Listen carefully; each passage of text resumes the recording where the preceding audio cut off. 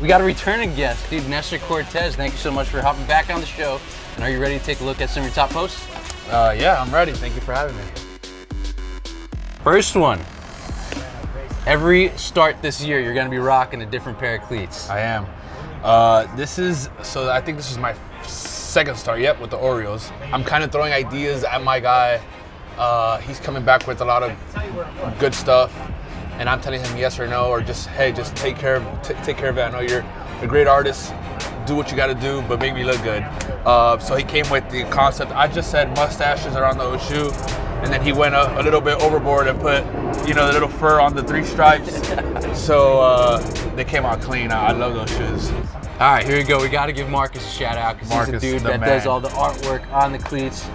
And here he is. You got a nice boat that he did too, man. Yeah, this is a gift from my uncle for my birthday. He obviously knows I love boats. My dad owns a boat. We go fishing every every once in a while. And he thought this is pretty cool, so he gifted me. This is actually just completely orange when he gave it to me. And I said, I gotta give it to Marcus. He has to do something sick to it. and he came up with this. I actually just told him, hey, I wanted the 65 and the nasty Nestor on top of there, but you do whatever you want to the rest. And he came out with this cool design. It kind of looks like a like a cigarette boat, where you know all those those, those boats are really fast. So uh, it was it was a great idea he came up with. We see also too you rock a lot of cool gloves. This is one of them too. Nasty, yeah. and you're repping where you're from on it. Also, so you're doing it with the leather also. Yeah, another great another great company, uh, 44. They actually allow me to do whatever I want to the glove.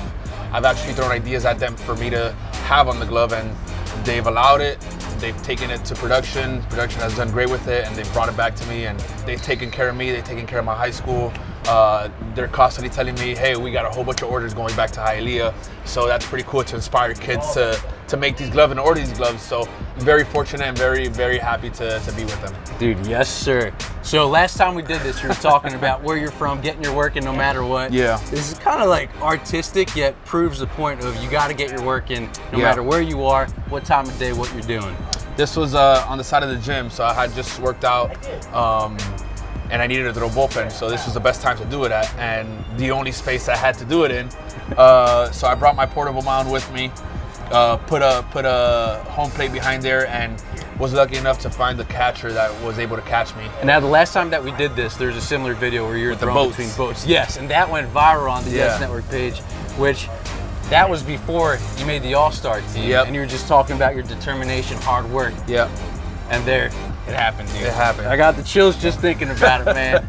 yeah, it was an incredible experience. It's something I looked I looked up to when I was a kid. That just like, you know, mid-season classic, classic with you know the the All-Star game. Um, and watching from afar, you know, like the Barry Bonds, the Derek Jeters, all these legends. Like I said before, my first few seasons weren't weren't great. Um, I didn't know how to translate my minor league success to the big leagues, but I got after it, didn't quit, um, and it showed off last year. And when it shows up, you got to show out. Yeah, you know it. I went with Gents Playbook for this uh, suit uh, kind of shot them an idea and they came back with this. My girl was able to, you know, rock it with me and, and, and, and kind of blend in with me. So uh, what an incredible experience. It was super cool to be part of, like I said, the whole the whole week. Also, I got to point out too, man, because I know you're all about the details. Inside of this jacket yeah. is sick. And then you got the chain, man. The this chain. is like, this is next level. This is from my guy down in, in Hialeah. We went to school together, actually. I'm like, dude, it's gonna be tough because I like I don't want to be like that much out there, but I do want to show it out.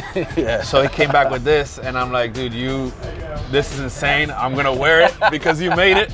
I don't wear it much out, but when I do, I know I know it's the nasty Nestor time. Yeah. we saw you a lot during the off season, courtside at basketball games. Here you are. Dude, it's a pretty cool experience, man. You get to enjoy the, all the other New York For sports sure. teams. Madison Square Garden, the Knicks, they they treated me well every time I've been in there. Um, obviously I've told them how much I love basketball and I love just admiring other other professional sports. Mm-hmm. Uh, I love enjoying it, and like I said, I, I, I, think I think Madison Square Garden the Knicks for for having me courtside. Dude, and this might have been the like the, oh, the pinnacle for you. Pinnacle right there. Right. Uh, I remember messaging him, uh, obviously on a great career that he's had, uh, and he and he answered back. He goes, "Hey, like my kids are huge fans of yours. I'm like, there's no Dude. way UD to go to Miami. he told me, hey, if you come to the game, uh, I got you out to the game, but my kids want to take a picture with you. I'm like, that's that's Dude, easy yeah, Easy trade. That's yeah. an easy ask. So uh, gave me good seats, and then after the game, I took a picture with his with his with his kids, and um, he gave me that in return, and he signed it, put all the put all little gingerbread in there, and I can't thank him enough for that. that was an incredible experience for me. Next one, here you go. You even got some football action, and your caption for this picture is great. Yeah, um, I was actually in Tampa doing an event. Uh, we're, we're recording something, and I text him, I'm like, hey, Judgy, what are you doing? He goes, oh, I'm here in Tampa. I'm actually going to the Bucs game tomorrow. You want to come? And I'm like, sure, I'm, I'm here tomorrow, so might, might as well. This picture actually came up with uh, one of our one of our photographers that was uh, in Tampa, and he sent it to me, and I'm like, oh man, I'm gonna make the internet go crazy right now. um, so I was thinking of a caption to put, and the face says it all. You know, it's like, what's it gonna be? You know, where Perfect are you going? yeah, it was it was great, and it, it, I think that was the biggest blow up picture I, have on my Instagram. Yeah, I mean, it went freaking viral. oh, amazing. Uh, we're coming down the home stretch. Here's your dog, Tyson. Yep. That's our baby, honestly. He we've we've got him since he was a little puppy.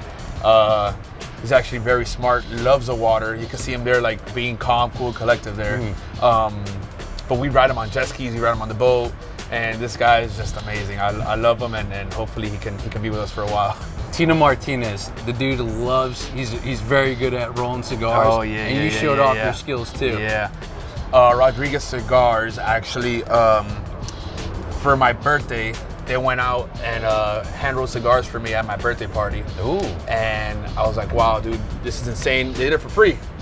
So I'm like, anything I can do to give back, please let me know. Don't hesitate. He's like, all I want you to do is come to the store, come roast some cigars, and let me teach you a little bit of about cigars and what, what we do and our family history.